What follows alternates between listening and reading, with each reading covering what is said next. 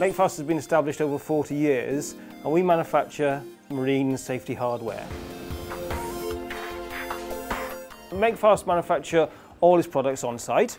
Um, we've got a multitude of skills and equipment here. We're able to fabricate, uh, we're able to weld, we're laser cutting. Makefast has done a great deal of work in um, recruiting apprenticeships, um, making sure that we've got a succession plan for our skilled workforce. Um, so we're very much dedicated to Wales um, and, uh, and I can see that continuing. Well, the Welsh Government has always been very um, generous to us in the past.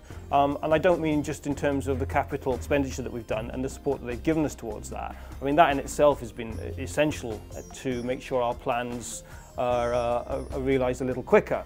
However, I've got to say the level of the staff um, of the advisors within the Welsh Government have come to help us has been excellent and um, they've pointed us in the right directions. They're advising us in terms of the latest technology and, um, and, services that are out there. The advisors are really good. They help you through it.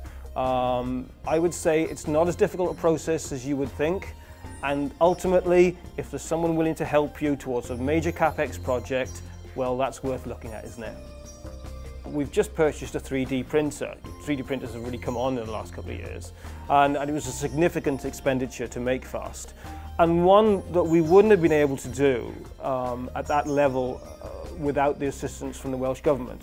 Um, it really did allow us to accelerate to market our new products. I think we're going to continue to grow. Um, we're currently turning over 6 million at the moment.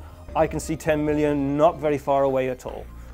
I think innovation is essential to what we're doing here. The products have to have that, that competitive edge, and I think the innovation is what's giving us that. We have a very talented team of designers and engineers here, and, uh, and I think that's what puts our projects and our, and our processes and our products a little ahead of the game.